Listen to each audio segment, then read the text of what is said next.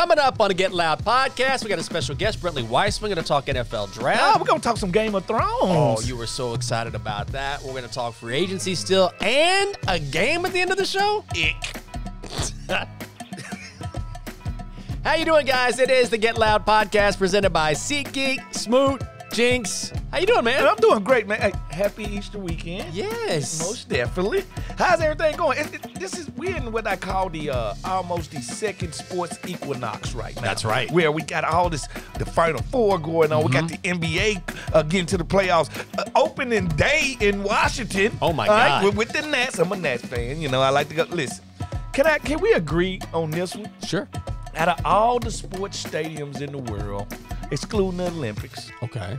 does baseball stadiums have the best food? Because Easily. easily, right? Easily. It's not Uh, close. I'm gonna say, because is it me? Because when I walk in a net stadium, it just it's sensory overload. Yes. Like I don't know what I want to eat. I want some of that, Mm-hmm. and I want some of that too. And I don't think you get that same feeling in a basketball arena, uh, either a football stadium. Oh, because because football is there are every play can you know make a huge. So you don't really wanna Same leave thing in seat. basketball. Yeah, yeah. Whereas baseball, there are some lulls. Yeah. So in football, you just want to like eat your hot dog, chug a beer, and be let's hold him, bro. Yeah, let's yeah. hold him. Yeah, yeah. You know, where in baseball, you might have like a 10 second lull, like they Yeah. change pitchers, and you're like, oh, I'm gonna enjoy this food for Yeah, a while. You yeah, uh, uh, most definitely. But the one thing I can say that baseball got that I hate that they don't show on TV because we all wish we had this walkout music.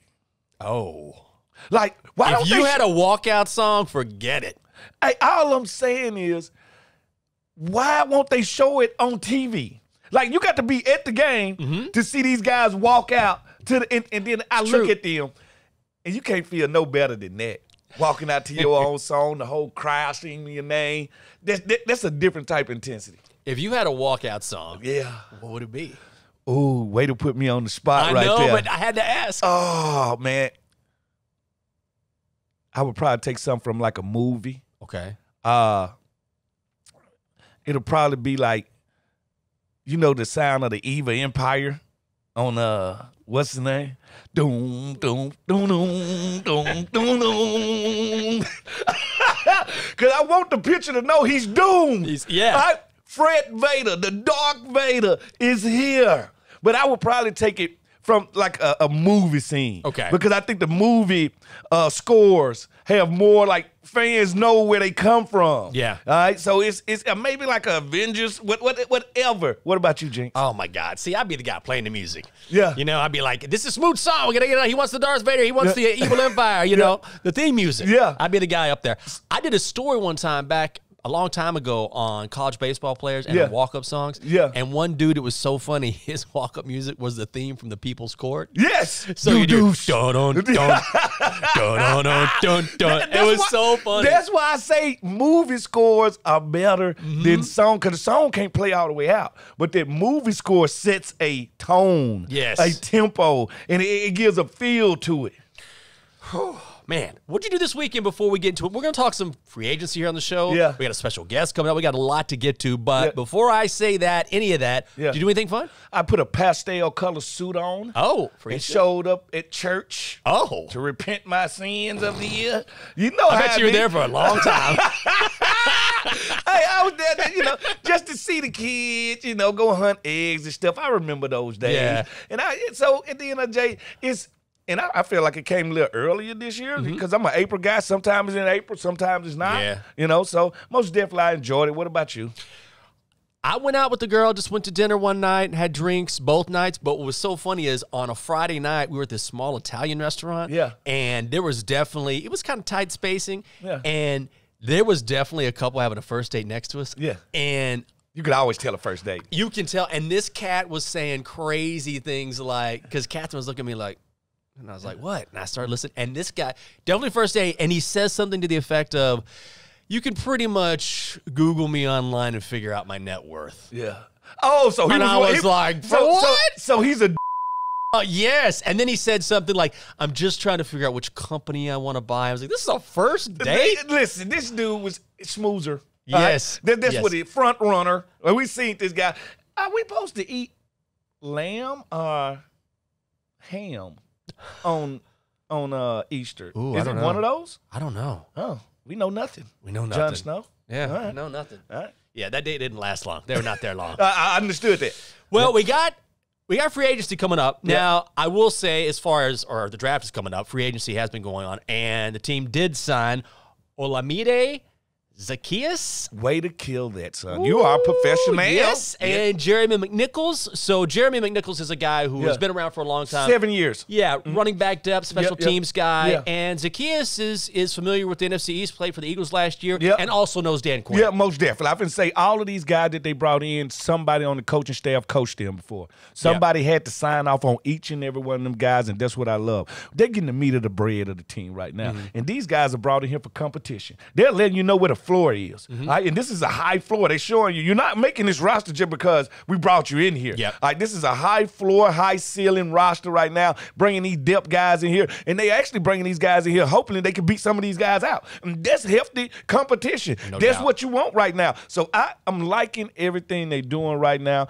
And they had to rebuild this roster. This roster only had 23 players on it when Yep. they got it. So they had I, I I knew we was gonna get a truckload of guys in, but what I'm really seeing is they're not going trying to bat five for five, get the highest guys. Mm-hmm. They trying to get the, the, the middle of the uh, of I the roster that. together. I, I totally agree with you. And there's guys that they may not be the big names, Yeah. but these middle pieces are quality. Yes, Yeah, crucial. quality. And it Most helps when the head coach is familiar with some of these guys. Yeah, too. and, and it, the assistant coaches and the rest of the coaches. That's exactly Yep, right. yep. So on the NFL on CBS, they they came up with this idea of the perfect draft game, and they were Yeah. saying, okay, if everything falls perfect for the Commanders, Yeah. they get Jayden Daniels at two. Oh, okay. They get Tyler Guyton at thirty six. All right, They all get right. Tyler Ugh. Nubin out of Minnesota at Safety. forty. Oh, I love him. Yeah. 67, they get DJ James, and at pick 78, Cade Stover out of Ohio State. Do you like these guys? Would this be your perfect draft, or are there some guys you would maybe substitute? I know it's hard to project that far down the line. Yeah.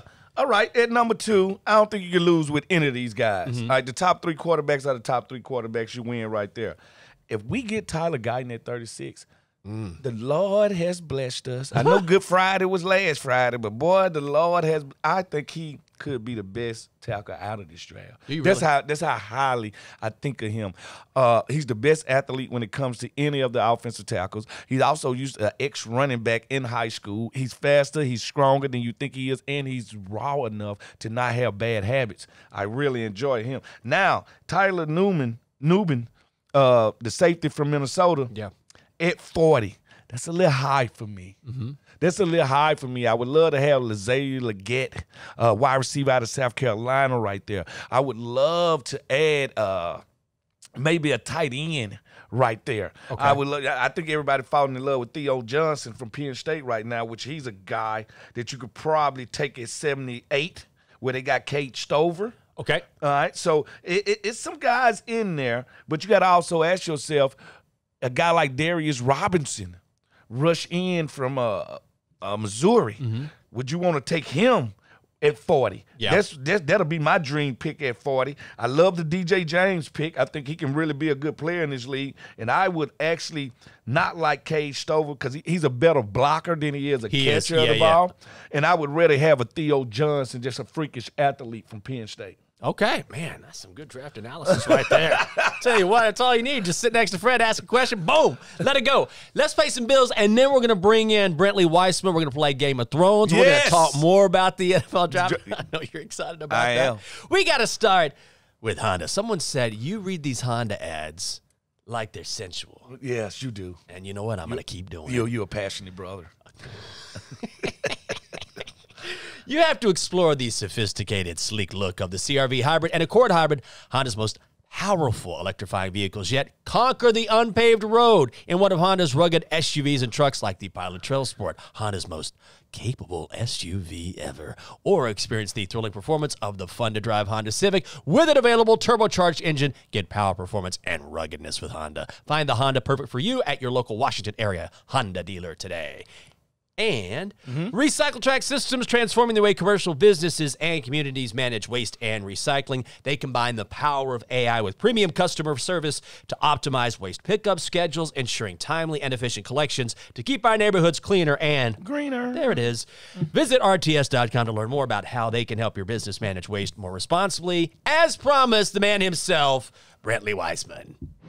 Every now and then, here on the show, we Yeah. have great guests. Mm-hmm. We had Gary Clark pop in. Yeah, we, we had some great guests. Shawn Springs. Shawn came Yeah, in. yeah, yeah, yeah. So we're going to keep it going now and bring in Brentley Weissman. Follow him on Twitter at Brentley12. He's a former NFL draft scout, Yep. draft analyst, and he had this really great thread not too long ago where he compared NFL quarterbacks, draft quarterbacks, Yeah. to characters from Game of Thrones. And you, more than anyone Yes. I know, is a huge Game of Thrones guy. I, I thoroughly enjoyed enjoyed it. I was mad at you though because I wanted you to do O lineman. I want the hound to come in there. I want you to do some defensive line. I want you to like once I seen him do that, it started my it started my wheels to turn. I was like, well, yeah, I can compare some of these guys also. Mhm. Okay, so I'm going to throw out a few of these, and Yeah. then Fred, I'm going to let you guys talk this out. Right? All I'm gonna sit back. I'm going to enjoy like everyone I else cannot watching. wait. Let, us go to Westeros on them right quick. I'm probably going to get Yeah, some of these names it. wrong.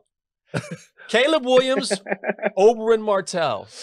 I was shocked that you picked Oberyn with Caleb because when I see Caleb, all I can think of is the prince who was promised. All I can think of is Jon Snow. You know, it's been so much said about Caleb Williams, and, and- and I'm talking about two, three, four years. He just hung around this. So I was like, you know what? To me, Caleb is either the star of this show, he's he's the prince who was promised, or he's Robert Baratheon, meaning he has been up there so long that he's got the fat rat disease that he doesn't rule like he used to rule. What do you think about those two comparisons? I do like the Jon Snow comparison, just just for the prince that was promised. I think that is a great, um, obviously saying that could be attached to Caleb Williams. The thing with Jon Snow is though, like he is much more of the stoic, much more of the play within structure. Certainly not a risk taker by any means. He's he's not that guy. Where Caleb Williams, you know, his main kind of you know, you want to call it a down, you know, negative trait or, you know, we're scouting him. I mean, some of his concerns is he plays too much out of structure. Mm-hmm. He invites chaos, doesn't like to take the small wins, loves to go for the kind of hero shot, the kill ball. And that leads me to Oberyn Martell. I mean, look, he is one of, if not the greatest fighter in Westeros history Yeah. um, a master in, in a bunch of a, a bunch of different kind of poisons and things like that. Very similar to Caleb Williams, where Caleb can you know throw from different arm uh, arm angles. He can throw off platform.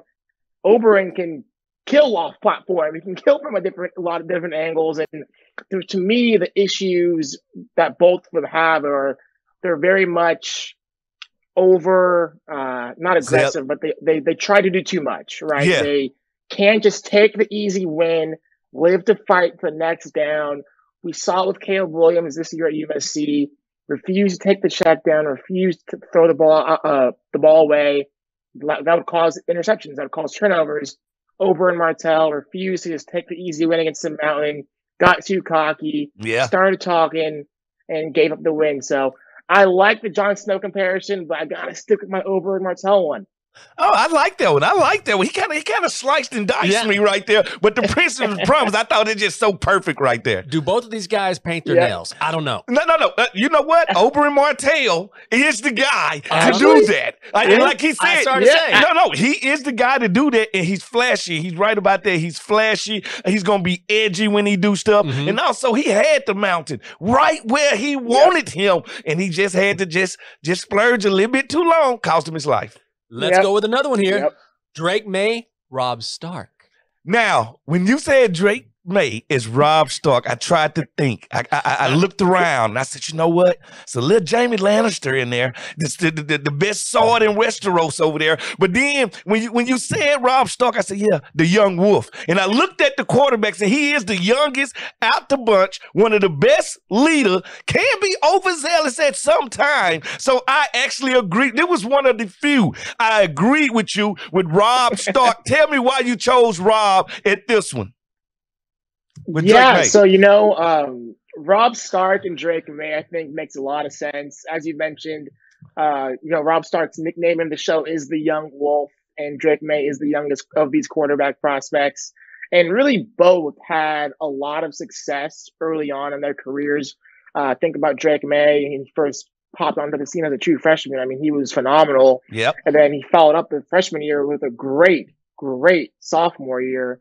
And look at Robb Stark. I mean, he won his first like four Three ba- battles. yeah, three in- battles, the yep. ba- three battles in, in the battles of the Five Kings. Yep. Uh, one obviously at the Whispering Wood, where he was able to kind of t- capture Jaime Lannister. Mhm. So, I mean, I see a lot of similarities with their early success, but with that early success led to kind of their later struggles, right? Where Drake Maye, I think he had such early success, he was really overconfident in his ability to make some throws. I think Drake Maye's issue is he has a rocket arm. He's very accurate down the field. He knows where to go with the football, but there are times where he takes these risks. He makes these decisions that are just, well, why'd you make that throw? You know, you're throwing in a double coverage. I know you can get it there, but there's higher percentage throws available. You didn't have to take that risk. Same with Robb Stark. I mean, he did not have to cross the, you know, cross the bridge to the, to the twins to try to go, go through Wa- Walder Frey after he already betrayed him. Like Mhm. he didn't have to execute his, his Bannerman, Lord Karstark. There was, there's unnecessary risks that both of them take later in their career that I think stem from their early success. And so I think that makes a lot of sense. They both have high upside. I love me some Robb Stark. Yeah. He was my favorite character before his untimely end, but uh, I think this one makes a lot of sense. I see a lot of uh, Daenerys' first husband, Drogo, in him too, because he started off, like you said, started off so fast, but then flamed out before he even could get started. I hope these cameras aren't cutting. Yeah, away I like me. that. I like that. Because I'm gonna be like, yeah. Definitely. All right, I might get this name wrong. Yeah. Jane Daniels and Arya Stark. Arya Stark, you, you you hit it right on the You head, it. right there. Now, this is one that I really, really got to get you on right here because why did you choose Arya for for Jane Daniels? Yeah, you know, I, for me, it's the career growth, right? You think about where Arya started. She was, I think, you know, the 30 youngest of the Stark children, Mm-hmm. um, the youngest little girl of the Stark children. And she really kind of went after Ned was um, executed.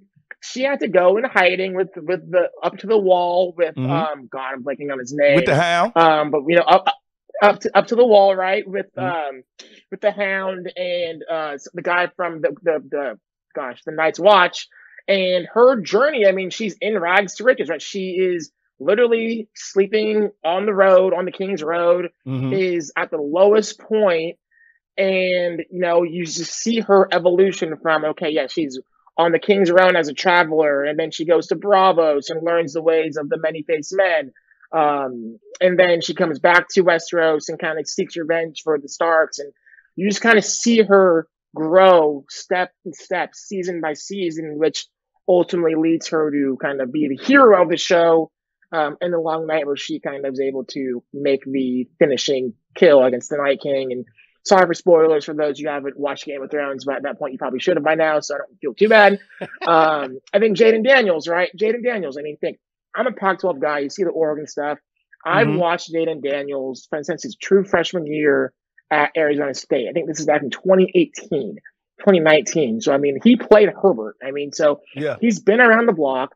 You see him uh, steadily improve year after year after year after year, which obviously culminates to this past year, which led, led him to win the Heisman Trophy, led him to go from a mid-round quarterback who has some athleticism, has some upside, to now a surefire top five prospect, a guy who is arguably the second best quarterback in this class.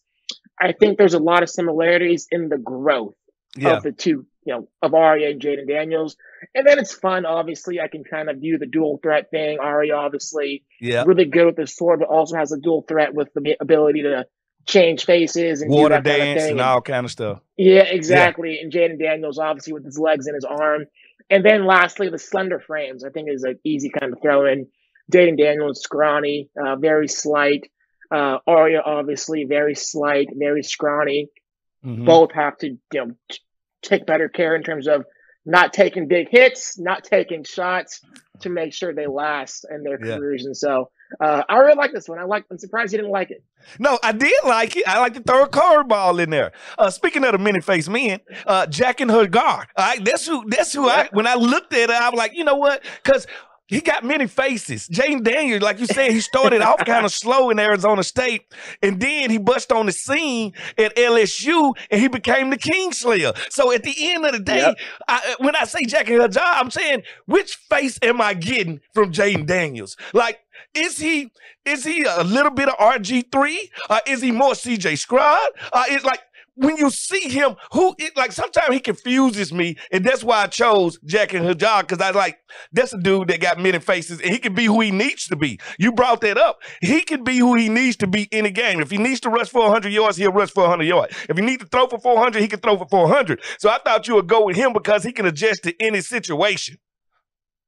I like that. I I really like that angle. Love that angle actually. Okay, here's another one. You ready? Michael Penix, Sir Barristan Selmy. So you're saying that one of the best swords, one of the most everlasting swords. Did you choose this because Michael Penix is old? Did you did you choose this because Yes. Michael Penix has been in the league just a little bit? Because I got one name that I'm gonna throw at you that I think gonna be a curveball. But tell me why you chose uh, uh, Sebastian Selby.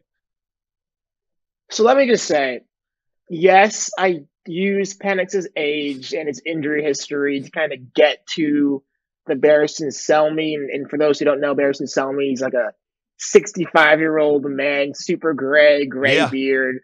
But when you talk about maybe the best swordsman we saw on the TV show, Yep. it's might be Barristan Selmy. Barristan Yep. Selmy is a lifetime King's Guard, which is the kind of the protectors of the king. All, all those guys are the best swordsmen in the Westeros, and he was the Lord Commander of that group. So hmm we're talking high end swordsmen in Game of Thrones. Michael Penix, if you get past the age, if you get past some of the durability concerns, the injury history, in my opinion, he might have the best arm talent, the best pure passer in this class. Mm. He can put the ball anywhere he wants it, throws the most beautiful, catchable deep ball I've probably ever seen at the college level. Um, he throws his touch, timing, and accuracy. He has a strong arm.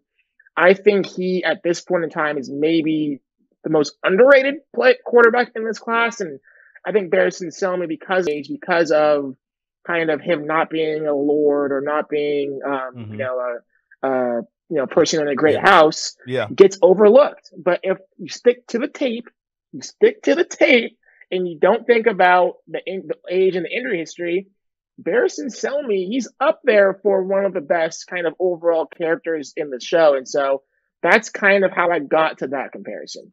Well, I have to throw this one at you. When I see Michael Penix, I see the great pocket manipulator. I see a Ooh, guy I that like it. manipulates the pocket better than anybody in their draft. He knows how to, how should I say, very Tom Brady-ish, do what I Mhm. need to to get to a spot.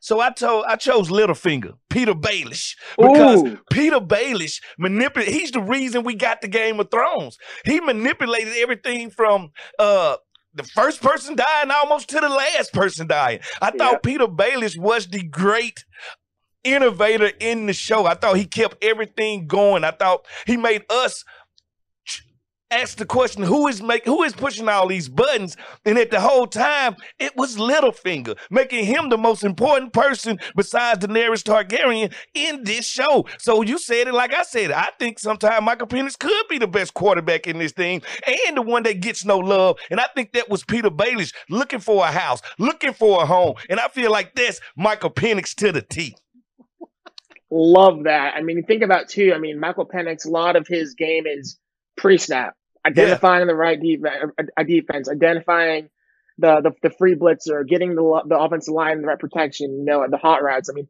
that is Petyr Baelish to a T, Littlefinger to a T. He's always four steps ahead head of everybody everybody, right? He's scheming, he's planning. And so I really like that when you begin to think about the mental aspect, the little subtleties that Penix has to his game. I mean, I, I you're right. I mean, his ability to maneuver his ability to just quickly, subtly slide, step in the pocket. Nothing crazy, but just enough to buy time and get to his spot and let his receiver uncover. And his ability to kind of do that consistently to me is very Petyr Baelish esque. So yes. I, I love that one. Yeah. Let's keep it going. Got a couple more quarterbacks here. Bo Nix, Ned Stark. I had to laugh when he said this because okay. we did we dealing with another old man, and I know he's an Oregon guy. I can see it all in the back right there. We dealing with another old man. So the, the thing about Bo Nix, you have to ask yourself: Is he that good? Or he is he? Is, did he get better each and every year that made him get to this point, mm-hmm. or was he just an old man on campus? Was he just a guy that graduated three years ago that still has the same condo that throws the parties, right. or was he the guy that we think he is? So when he said Ned Stark, Everything starts and ends with Ned Stark. He is the king that refused to to bow down and do things mm-hmm. the regular way. He was always truthful. And Bo Nix is true to the quarterback position. His dad played the quarterback position. Now he plays the quarterback position. The question is, how long will the Bo Nix story last? Because we know how long Ned Stark was a part of Game of Thrones.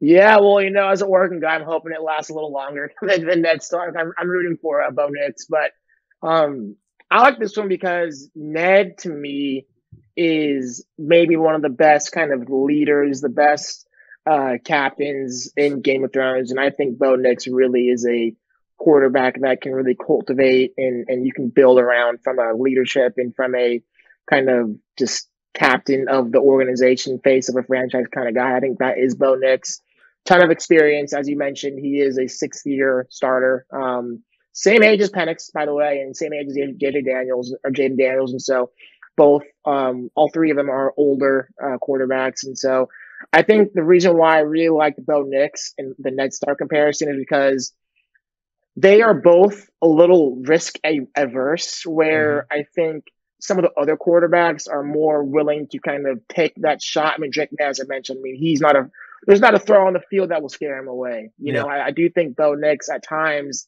is very reluctant to pull the trigger, and he's very kind of comfortable playing within structure, kind of taking what the defense gives him, lives to fight another down. And I think that's where Ned Stark really did himself in was because he was afraid to take the risk mm-hmm. and actually, you know, challenge Joffrey, challenge Cersei. He should have immediately read the book when he found out that you know Joffrey and the kids are not yep, you know they Bar- not Robert's uh, yep. kids, he should have rode to Stannis immediately. I'm out. Go to Stannis and team up. But Ned, too honorable, you know, doesn't want to do you know the the risk of the risk the risky move.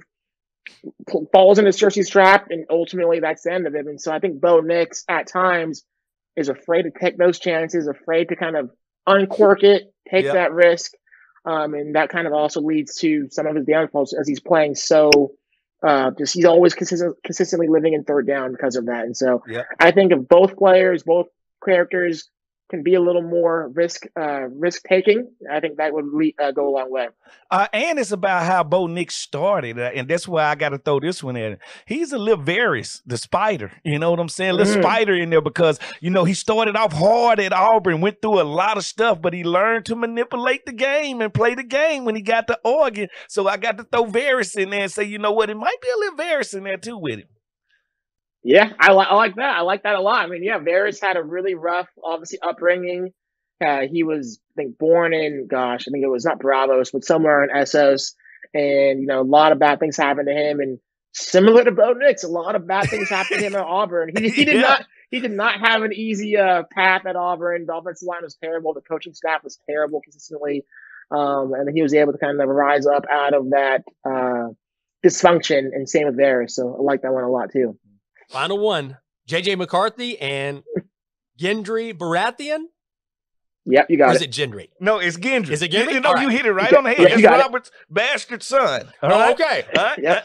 and, and, and why uh, uh, Gendry, the tool maker, tough, uh, lived in uh, no, lived in flea bottom his whole life. You got to realize. So you saying JJ is tough, been through a lot, understands he's a champion. That's why I kind of chose, I chose two other people to kind of compare him to. One, I chose the Hound because I feel like Ooh.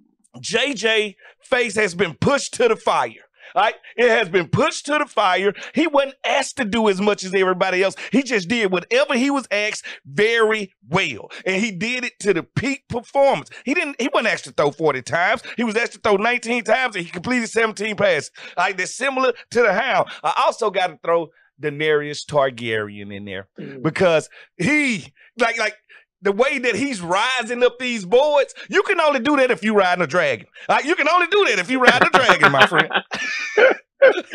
no, I, I love it. I, I love both of those, especially love the Daenerys one. Um, especially, I mean, you think about the the quick in season one. I mean, she went from you know being sold off to Khal Drogo to the end of the season, you know, having three dragons. So kind of a similar rise, right, as JJ Yeah. McCarthy's uh, have over the past couple months. But I'm gonna stick with my uh, Gendry Baratheon uh, comp for a couple of reasons. One, I think Gendry, you know, is a bastard, but he does have royal blood. He's the Yep. bastard son of King Baratheon. So Yep.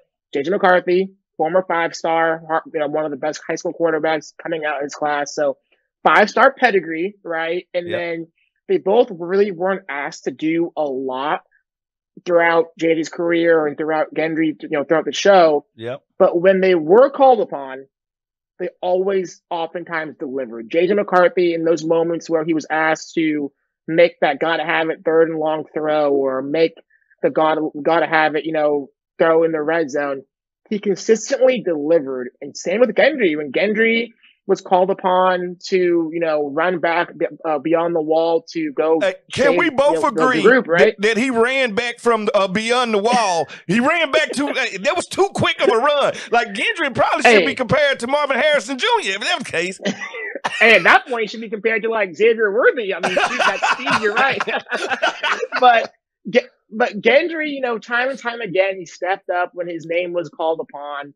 Um, again, I think I, I think I said, you know, the the the his best ball might be ahead of him from McCarthy, right? I think Yeah. if McCarthy gets into a system that is much more quarterback friendly, much more, hey, we're gonna air this thing out.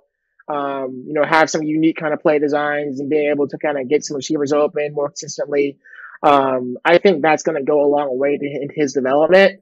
And similar to Gendry, I think if Game of Thrones had, say, an extra season, mm-hmm. I mean, shoot, Gendry Baratheon's Lord of Storm's End. I mean, yeah, he's going to be a high, Yep. yeah, he's going to be a high Lord moving forward, and so I think his best ball is ahead of him, and so I think taking JJ McCarthy right now as presently kind of presented um, is a risk. I, I, I think it's a risk. I, I, I think that you can bet on his tools. You can bet on the limited sample size that he's kind of shown on tape in those high leverage situations.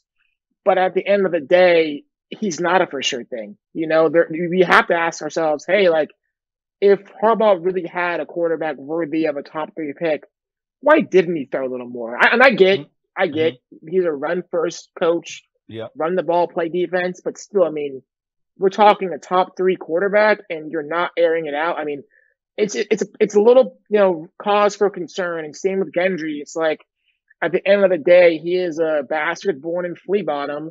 You never quite know how he's gonna be in that top dog spot. It's a risk, a risk that could very well pay high dividends. And so, I love the Gendry and JJ McCarthy pick. Um, two prospects that are uh, high risk but very high reward. I see a little uh, uh, uh from the Veil. What was the young name? A young Arryn from the Veil. Oh, Robert Arryn. yeah, Arryn in there.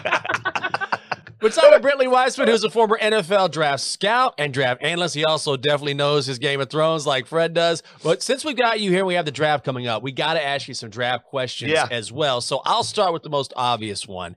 If you're the Commanders at number two, and certainly they are in the market for a quarterback, who's your guy? Yeah, and I have no idea kind of like what I'm gonna get get into here with you guys. I don't know if you're a Jayden Daniels, if you're a Drake Maye, so I might, I might get in trouble here, but Uh, I am out. a Drake Maye. I am a Mm. Drake Maye over Jayden Daniels at two. Um, I think Drake Maye, his upside to me is as high as any quarterback in this class, and I think he is unfairly getting criticized for the lack of supporting cast that he was, you know, given this past year. I think if you go back to his sophomore tape, he was outstanding, and that's that's obviously when he had uh, Josh Downs and a couple offensive linemen and a running back um, with him last year, and so a little more kind of NFL players around him, and he was really able to kind of showcase what he can do. Um, Drake Maye, he's a prototype. He has a rocket arm. He's accurate across all levels of the field. Really good velocity, and that's where I do question Dan Daniels. I don't know about his arm strength in terms of the actual driving of the football in the intermediates part of the field. I don't think he has that ability to just zip it in right in the in the, the middle of the field against uh, in bracket coverage. I don't know about that with Jayden Daniels. I think he's a great deep ball thrower, but that's more about trajectory and arch and touch. Whereas Drake Maye can do that as well, but I think he just has a little more gas in his arm. Uh, also, I mean, Drake Maye, I think he has about 20 pounds over Jayden Daniels, which mm-hmm. leads me mm-hmm. to believe he can hold up more against NFL uh, defensive linemen taking a beating to him. He's stronger and firmer in the pocket. Um, I just think Drake Maye just he has a lot to like. You know, he has a lot to like, mm-hmm. and I think Drake Maye, you know, his development is just getting started. Whereas Jayden Daniels, he's been in college for you know six years, and yeah. his progression is phenomenal. I love it, and this is not a slight towards Jayden Daniels. I just think that if Jayden Daniels was leaving after his third year, it wouldn't be a conversation. Yep. It would be Drake Maye by a mile. And so I would I am willing to take the risk on Drake Maye. Again, I just think his upside his upside's higher. Um, and and yeah, and again, this is no slight to Jayden Daniels. I think Jayden Daniels is the third best quarterback in the class. Yep. But I I got Drake Maye kind of comfortably ahead of him everybody's talking about the quarterback class because the quarterbacks are the sports car. Everybody like to look at mm-hmm. sports cars, but I like the SUVs because I got kids. All right? Could this be? Because nobody's talking about it. Could this be the best offensive tackle draft in the last 20 years? You're talking about guys like Joe Alt, J.C. Latham. My guy is Guyton from uh, Oklahoma. I think he's a beast. Most people don't even understand he played running back in high school, one of the best athletes at the offensive line. Could this be? Because I can see right now six offensive linemen going in the first 32 picks. Could this be the best offensive tackle draft in over the last 20 years?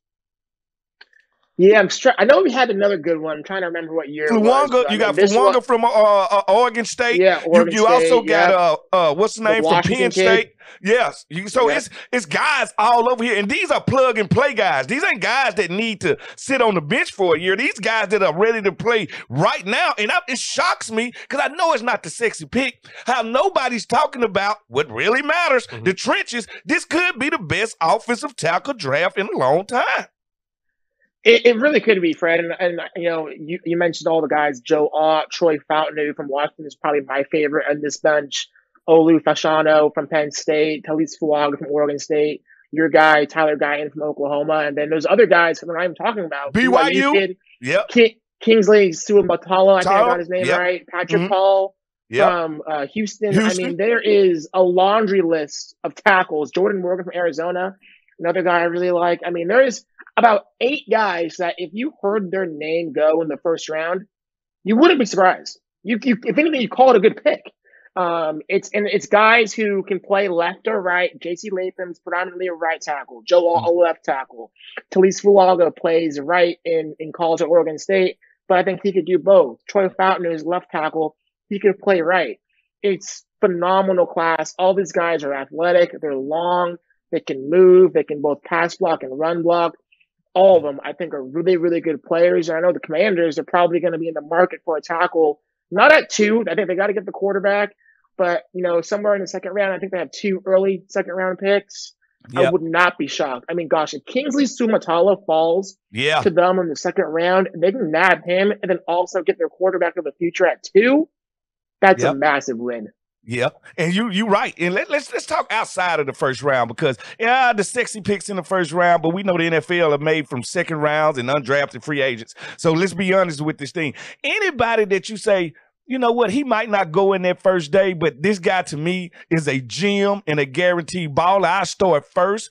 I think Malachi Corley I think Malachi Corley is uh the, the faster version of Deebo Samuels. I think when he gets in the NFL, it's gonna be hard for NFL corners to tackle him consistently. I think he got the speed to beat you vertically. I think he built like a he built like Shannon Sharpe. Like he's he's he's really built, and I just think he going. I think he's set up for a long, long career, especially with the right team. Love Malachi Corley. Um, the only issue I have with him is just his route running, but in mm-hmm. terms of like his ball in his hands, yes. I mean, he's not even that big, but he's breaking all these tackles. I mean, like no one tackles him at the first attempt. You see him just trucking guys. He can make you miss. I, the Deebo comp is good. Um, I, I, he's, he's a really fun player. I like him a lot. Um, I think you have to be a little bit creative. You know, you know, you guys know Curtis Samuel. Obviously, you see yes, with yes. the Commanders. Mm-hmm. I, I think if you have a plan for uh, Malachi Corley, similar to how Curtis Samuel was utilized early in his career at Carolina. Get him in the backfield a little bit. You know, just be creative in terms of getting ways to get the ball in his hands. I think he could be a really good weapon for an offense. Uh, but in terms of like a day two ish player who, day three ish player who I think is going to be uh, surprising people early in his career, I love Jaden Hicks from Washington State, the safety. Mm-hmm. Um, I think he's a really good player, outstanding size. He's a versatile guy. You can line up single high, split safety. You can come down in the box, even cover in the slot. Uh, my question for him was just how fast is he? I'm finna say uh, how fast is it, he? Man. Is the, yep, is the, is the, is the speed track going to be too fast for him in the NFL? Exactly. Exactly. Yep. And I think he tested well at his pro day, um, which answered some of those questions. But in terms of instincts, ball skills, his ability to kind of match up in man with his size and length, I think he can do a lot across the board. And in a weak safety class, I mean, there's not a lot of guys who could maybe no. be counted on as a day one starter. No. I think he's the guy who might be able to. So I would say him as a guy kind of a mid later rounds who I think can come in and have an impact. I like James Williams from Miami that they move into linebacker. Mm, yeah. I think that yeah. move right there might might not only save his career in the league, might turn him into a special player. Absolutely. I mean, abs- I mean, you, we've seen it, you know, in today's game. I mean, you know, Jeremiah, Jeremiah Ola, um, gosh, like JOK from Cleveland. I'm blanking, blanking on how yep. I pronounce And Deablo from the, uh, the, Raiders. Also, uh, the Raiders, he was a safety. yep. yep. From Va Tech, yep. So yep. you see, you see the guys, you know, play safety in college and come back down into the box. And today's game is such a space game, you know, such a game that requires speed and athleticism at the second level.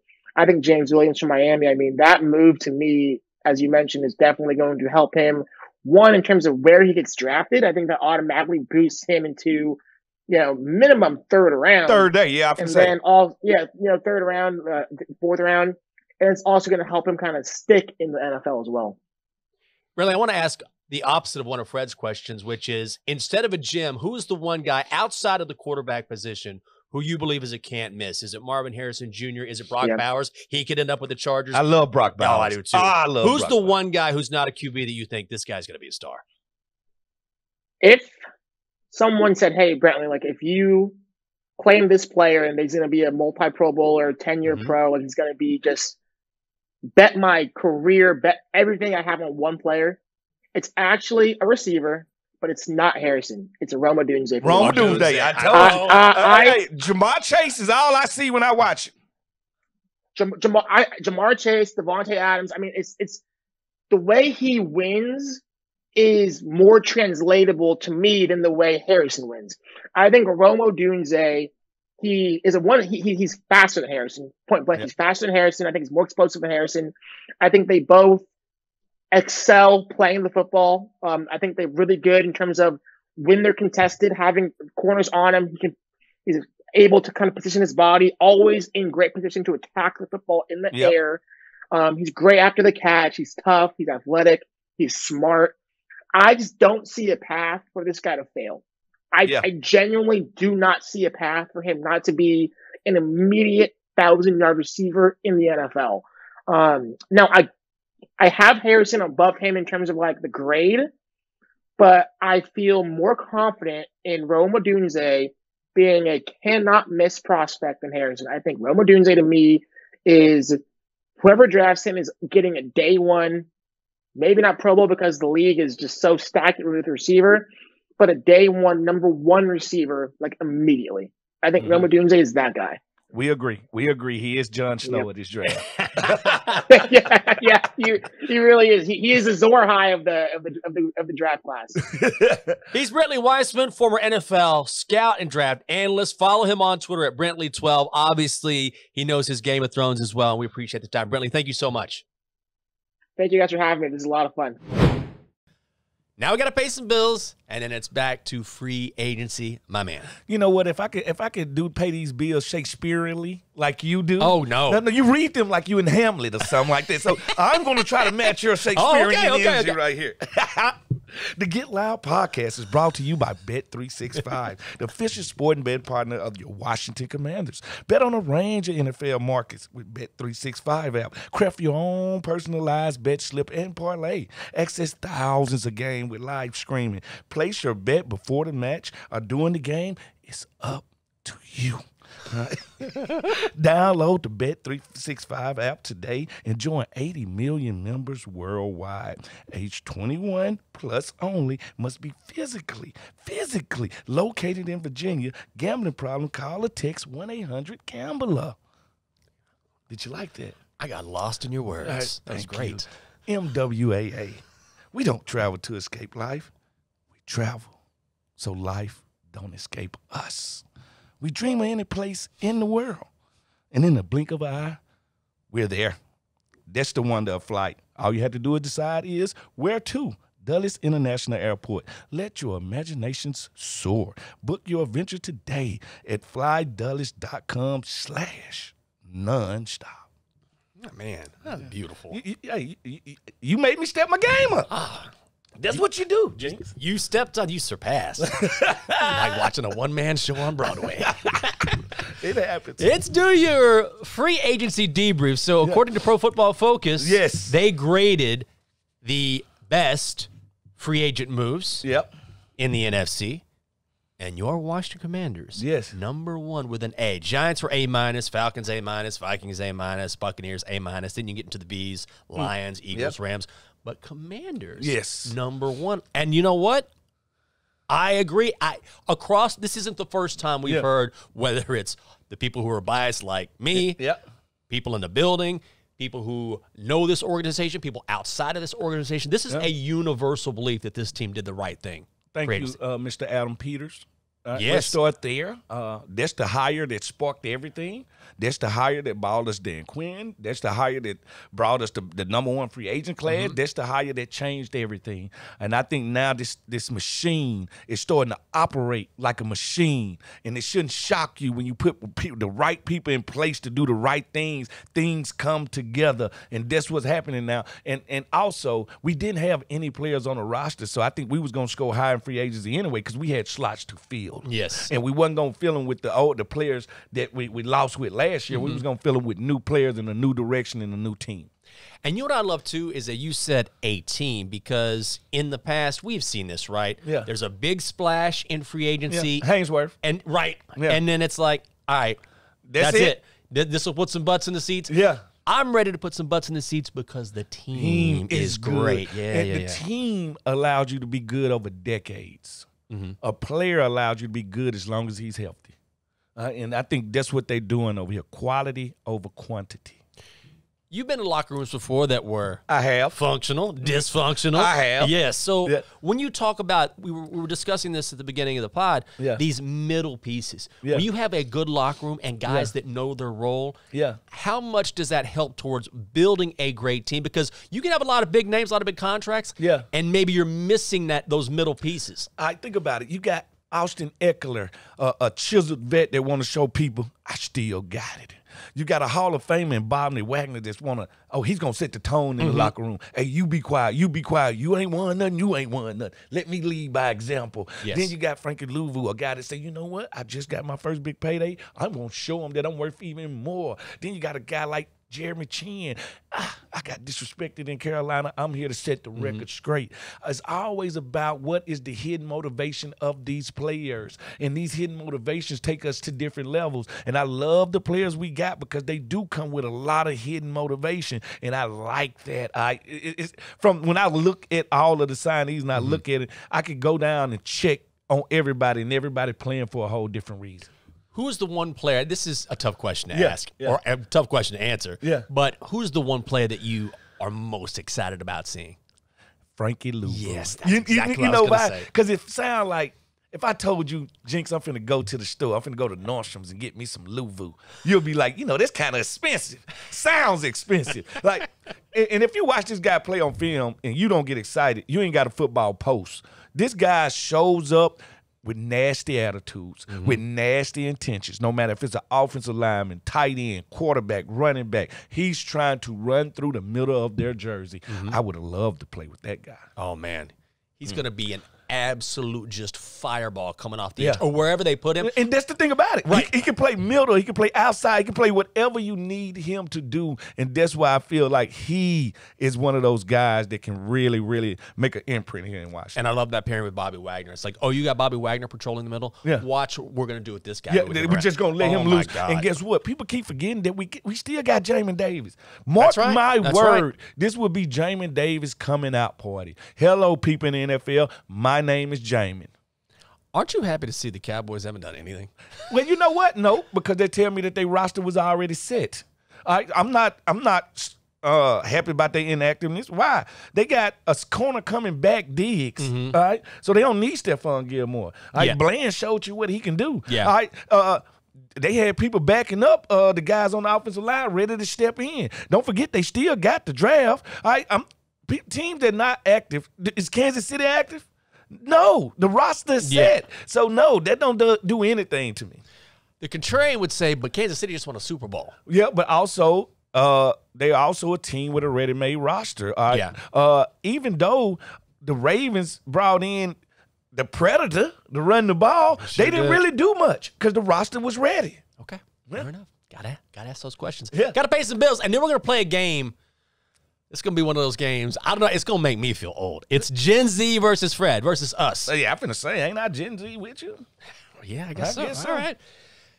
Have I talked to you guys about Honda? I think talk you have. Honda. You have. You got to explore the sophisticated, sleek look of the CR-V Hybrid and Accord Hybrid, Honda's most powerful electrifying vehicles yet. Conquer the unpaved road in one of Honda's rugged SUVs and trucks, like the Pilot Trail Sport, Honda's most capable SUV ever, or experience the thrilling performance of the fun to drive Honda Civic with an available turbocharged engine if you want it. Mm. Get power, performance, and ruggedness with Honda. Find the Honda perfect for you. See your local Washington area Honda dealer today. Mm-hmm. Come on, SeatGeek. Yes. They Sponsor the pod. We love. They believe in us. Oh, they believe in us. They Yes. at least believe in you. and they're like, yeah, I'll take that Jenks guy. He's in the sidecar. We'll take it. They are the official ticketing partner of the Washington Commanders. The deal is finalized. They're the newest member of the Commanders family. Get used to the name. You'll be hearing it all season long, whether you're buying or selling tickets to Commanders games or really any other live event in the DMV. SeatGeek is the place to do it. The official ticketing partner of the Washington Commanders, so Commanders fans can fan. You know what? You got that uh that Clark Kent Superman curl that just sitting right here in your head. Oh. It just won't move. It's just magical, right? All I got to do now Yeah, yeah, yeah. is hit the weight room and add 30 pounds. I'm, I'm just telling you, it's it's sitting there like you like a movie star right now. It refused to uncurl. Put a soft filter on me, make me look better. okay, here we go. So Caroline is here in studio. Caroline, what did they call you, Caroline? They call me intern Caroline. oh yeah, They yeah. don't call you intern. Yeah, we do. No, They- the, the, That's it. the queen of the Gen Zs. Sh- yeah, we'll go with that. All right, better right. Queen of the Gen Zs. All right. So we have pieces of paper here. We don't know what they say, and I'm going to read you a Gen Z phrase, And then I read and you I'll one. I'll know what what it says. Again, I'll have the hint. Same Yeah. thing for you. And then if we get stuck, we can ask Caroline. All right. the queen of the Gen Zs. All right, go. All right, you ready? Shoot. Okay, here we go. Oh man, I knew this one. What is a stand? A stand? Yeah. Is it the stand that writ uh, Eminem that letter on the song stand? Okay, it it's part, that's where it comes from, but what is it? So that makes a stand a person that's a stalker.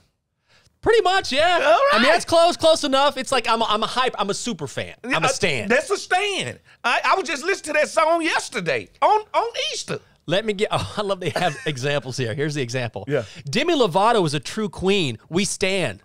All right. Yes. Make All sure you read the examples. I'm shocked that I got that one right. okay, that was good. That was good. All right. What is Riz? Riz. Oh. R I Z Z. Oh. I knew this like three weeks ago, and I And already you- forgot. like this. I give you this. You're full of Riz. I'm hold up, hold up. I'm full of Riz. Smiles, Almost there, but not quite. uh, enthusiasm. I if you was I if you was Look at us- Caroline laughing at me like No, an old man right now. if you were describing me to somebody, Crazy. you the C word is there. Oh, What, what what do I have a lot of? charisma. There we go, Riz. Riz, right. Charisma. Oh, Chariz. Riz, Oh my yeah, god. yeah. I'm sold. You kids ever heard of BYOB? Yeah. That's something I talk yeah, about all the bring time. all that whiskey. okay, here we go. Yeah. okay. Rot. Like rot, rot, like R O T. I don't even know the way they describe this doesn't make any sense. Are you Rot. trying to say that I'm rotten?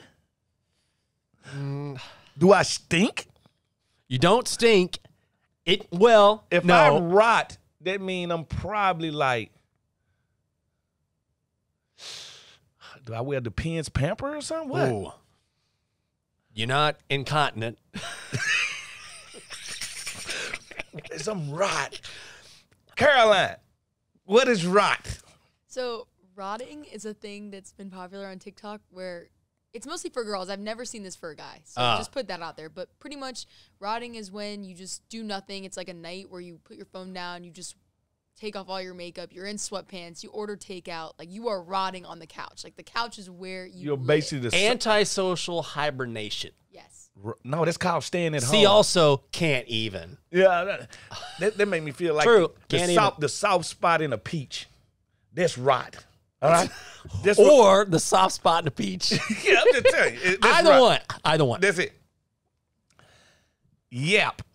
Yep. That's Y A P. Like a bunch of gibberish, like a bunch of nonsense. Yes, Like a- this is this is The way you BS. hit that one on the head, a bunch of talk. No, a bunch of talk. That's come on. just yap. Yeah, that's that's easy, man. Ah, you got one. yeah, That was an easy one though. Yeah, it was. Oh, I know this one. Ick. Someone has the ick. The ick. Yes. They icky. Uh, so if you ick, ugh, You get the ick. that mean they stink. I mean, it could be a reason why, but normally it uh The ick. yeah. Girls get the ick a lot.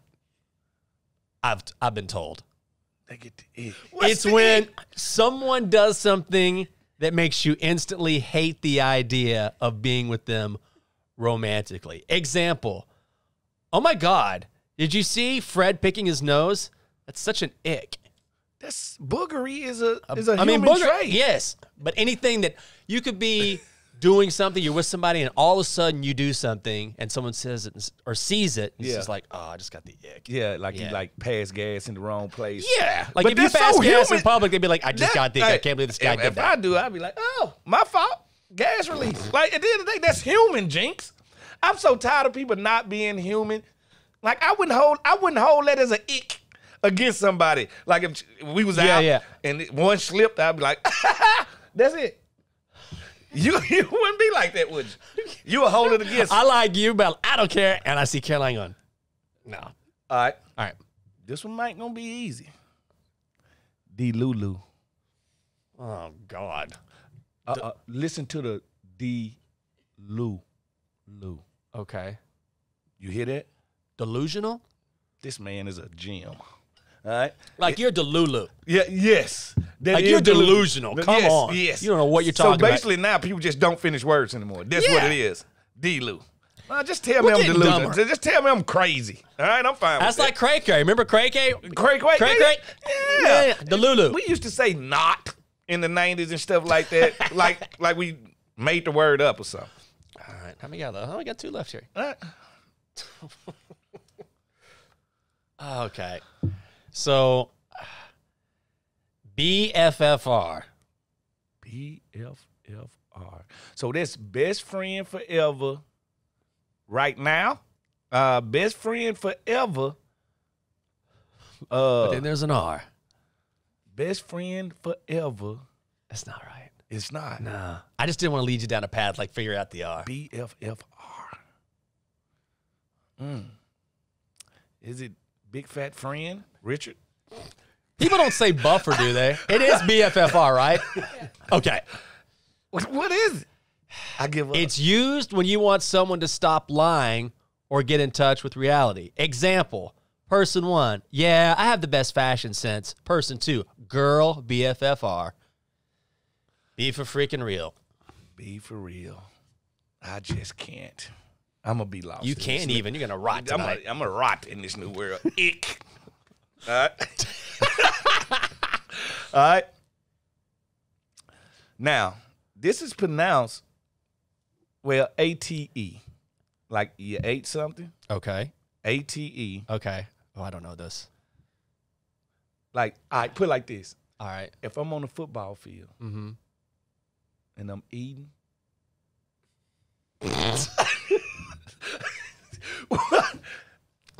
Are you eating? I mean, all the something. I'm just saying, like, like if, if if somebody on the basketball court and they going for 30, Mhm. they just what? Heat check. Uh, They just eight. thank you. Oh, it's eight. Oh, I thought it was eight. Just eight.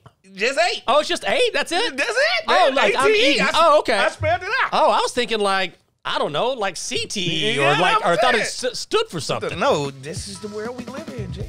You can't make this up. Something. Yeah, hey, I know it. I know sign language. Well, we're a little bit smarter. I think Nah, we went back. we went back. We got yeah, dumber. we, well, we, we sent the generation back. Yep. Mm-hmm. Look at Caroline. Yep, you did. You got real dumb today. That's it for the Get Loud podcast presented by SeatGeek. Thanks for being with us. That's my man, Fred Smoot. I'm Jenks.